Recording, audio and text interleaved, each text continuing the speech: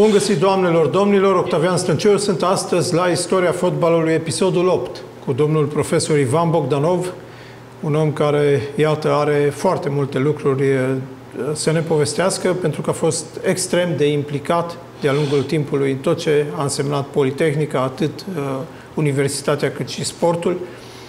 A fost uh, membru în conducerea secției de handbal masculin a Politehnicii. Vom vorbi despre aceasta în uh, minutele următoare. A fost uh, uh, este președintele Fundației Politehnica, este membru în adunarea generală a Clubului de Fotbal Politehnica, a fost membru și chiar secretar în Galeria Polistă, cea mai frumoasă din țară atunci, în anii 70.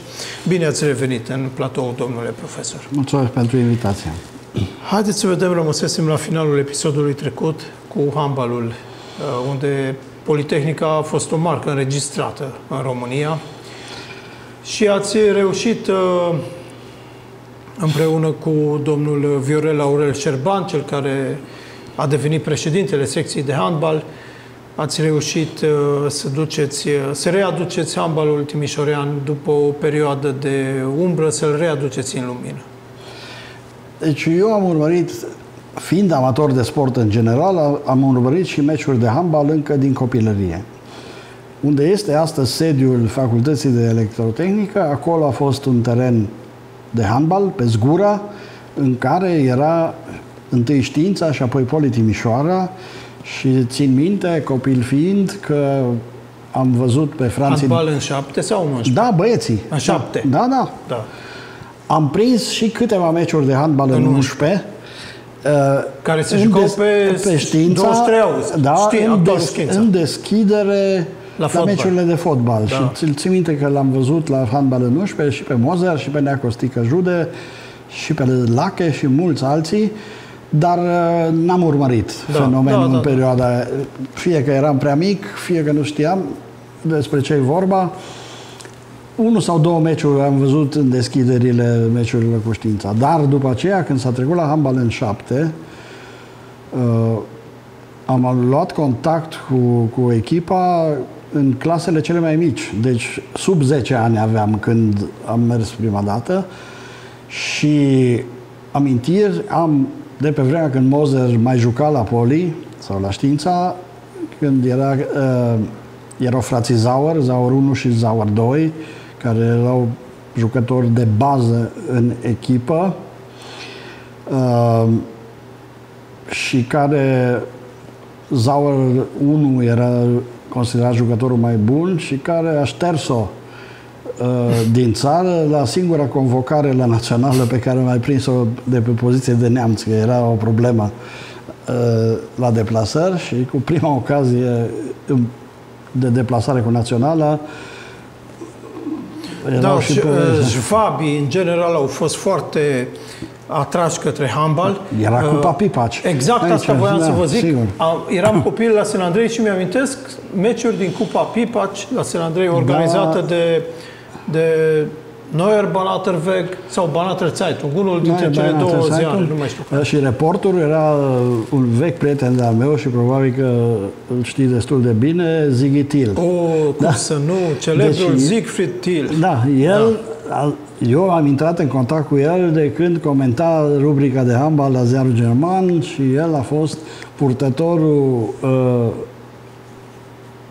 de cuvânt al uh, Cupei Pipaci ani de zile. Din păcate, majoritatea germanilor din Banat au emigrat, nu extindem discuția aici și sigur că cu asta și mișcarea handbalistică uh, șvăbească a, a cam dispărut. Nici nu știu dacă se mai joacă ceva sau nu astăzi. Nu se mai joacă nimic. Ei, dar eu am prins acea uh, echipă, Franții Demian era în poartă și Coco Covâsânțan. Și fiindcă vine vorba de, da, de, uh, de domnul Coco... Covă Sânțan, care da. este o figură uh, pitorească a handbalului nostru și pe care îl putem vedea meci de meci acolo în primul rând după gura de intrare în sala deci, Constantin Judă. Uh, Coco este unul din prietenii mei buni. Relațiile noastre se trag și la nivel de familie, din copilăria îndepărtată. Mama lui și o mătușă de-a mea au lucrat împreună ani de zile și el a fost titular, sau mai întâi rezerva lui Franții Demian în poarta științei și după aceea ani de zile titular și este întâi și de toate un timișorean jet beget, trup și suflet și în orice discuție Timișoara e prioritară pentru el. E și el poliglot, crescut în fratelia cu, cu vecini sârbi, nemți și unguri și vorbește așa cum vorbesc astăzi timișorenii autentici, prost toate cele patru limbi.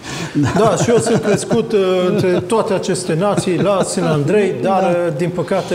S-au schimbat uh, generațiile. Nu, da, din păcate am fost foarte atras către engleză și franceză și, sigur, limba sârbă pe care am învățat-o da. de la televizor și de la colegii mei din uh, liceul, cum se numea, de filologie, istorie, pe atunci fiind da. secție sârbă la acel liceu. Deci Coco a fost sufletul acțiunii uh, handbalistice din perioada în care m-am apropiat eu de partea organizatorică și la aproape toate acțiunile a fost participant, uh, martor, un om cu inițiativă, uh, poate uneori prea sufletist, că ex- excesul de sentimentalism uneori strică, dar e un om minunat și trebuie să-l dau ca exemplu eh, de om care a făcut sport de performanță la nivel de divizia în România, handbalul era ceva, cândva? Păi România era da, campioană da, mondială de, de patru ori. Sigur că da. Și să faci și carieră profesională, a fost student bun, a ocupat funcții de răspundere în diferite întreprinderi din oraș, deci a fost un om excepțional. Azi este un excepțional bunic și se ocupă de nepoții lui ca la, de care are grijă ca, la ochii din, ca de ochii din cap. E un om deosebit și pe acest prilej îi aduc mulțumire pentru tot ce a făcut el pentru orașul ăsta și ca sportiv și ca organizator. Câți ani ați activat în conducerea secției de handbal? Deci în 96 am început, asta țin minte, și când s-a făcut, până în 2012. Pentru că în 2012 am preluat fundația. Fundația Politehnică. Politehnica. Da. Uh, între timp, în perioadă, am obținut niște rezultate și anume am, o amintire care îmi va, rămâne, îmi va rămâne pentru toată viața a fost o finală în Liga 2 între Poli Timișoara și Universitatea, că era o rivalitate între cele două echipe. Universitatea Timișoara. Da, de da. vest. Da. 19-17, care a însemnat, de fapt, promovarea lui Poli din nou în Liga 1 și după asta urmează o întâmplare importantă care trebuie să o povestesc. Țin minte că am câștigat acel meci împotriva credinței unora sau altora care erau siguri că la universitate sunt și mai mulți bani și mai mulți jucători tineri valoroși.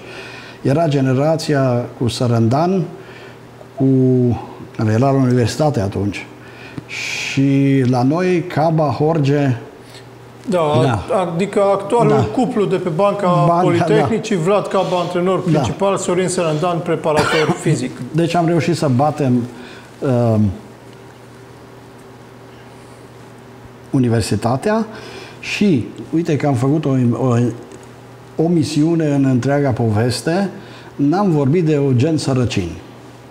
Pentru că da. în legătură cu clubul suporterilor trebuie să spun și regret că n-am spus-o atunci când am povestit de clubul suporterilor, coordonatorul uh, clubului suporterilor a devenit Eugen Sărăcin care... care va deveni ulterior patronul clubului de fotbal Politehnica la finalul anilor 90. Exact. După el vine Zambon și se alege așa, praful. Așa. Eugen Sărăcin era un om foarte... Seracin. Sărăcin îl cheamă. Eu din ziare îl știu Seracin. Bine, dar mă rog, scris dumneavoastră știți mai bine. Uh, că l-ați cunoscut personal. Eu, și, și, cunoscut și personal, sunt prieten și astăzi cu el, da. deci sunt un om apropiat lui și port o foarte plăcută amintire. Uh, deci Sărăcin. Sărăcin, așa îl chema la origine și știu precis că a venit în Timișoara dintr-un sat neștiut de lume uh, și a venit la handbal întâi și s-a prezentat la Neacostică Jude.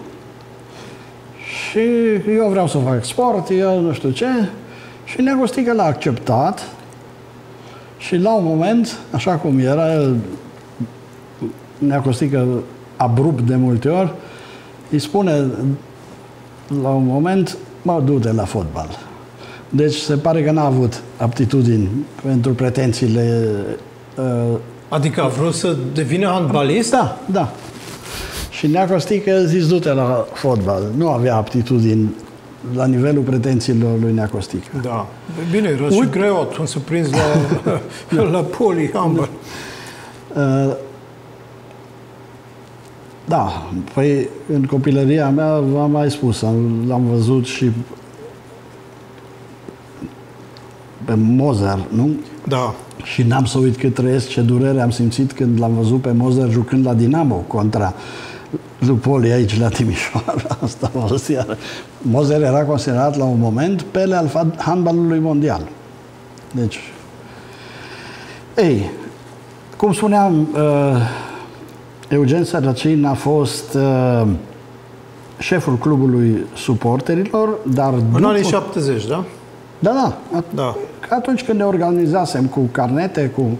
Da. Există și un film uh, pe internet în care Eugen prezintă registrul în care eram toți catalogați ca membrii clubului suporterilor de atunci.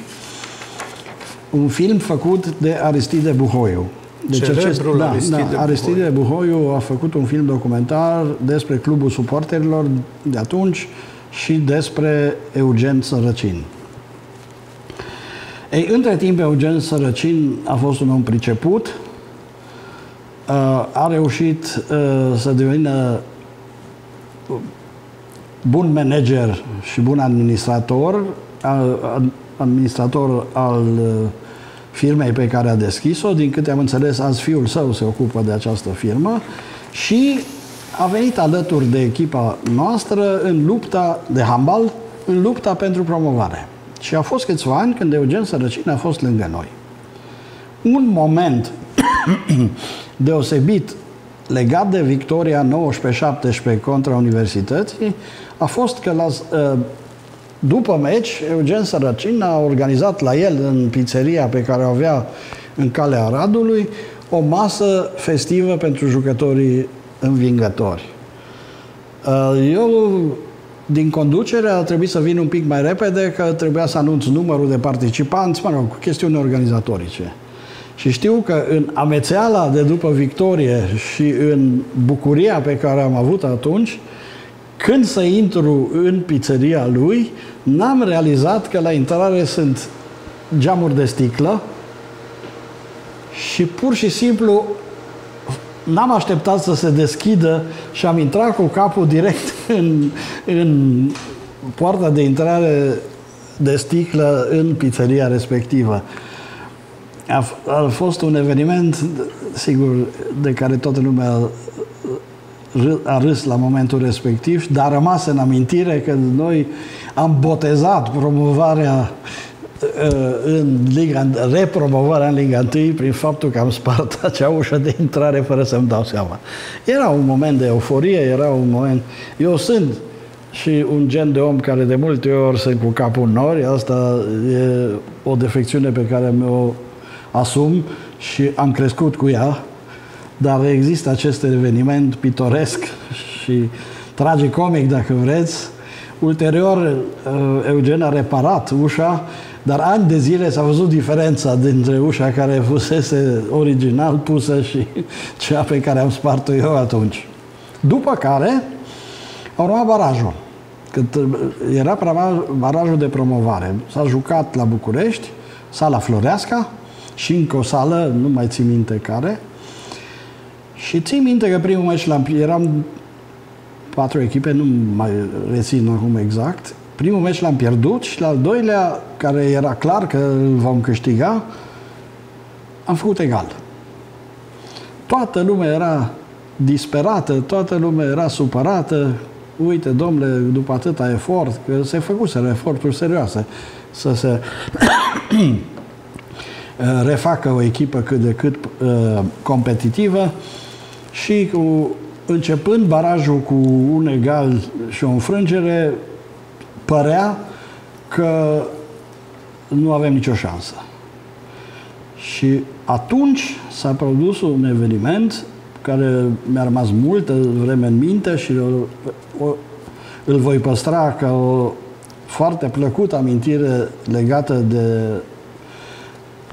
domnul rector Viorel Șerban, din toată trupa, Nea Costică și alții din conducere, băieții mai importanți în frunte cu Camă și cu Horge, singurul care a înțeles că egalul n-a fost rău în competiția respectivă a fost domnul Șerban.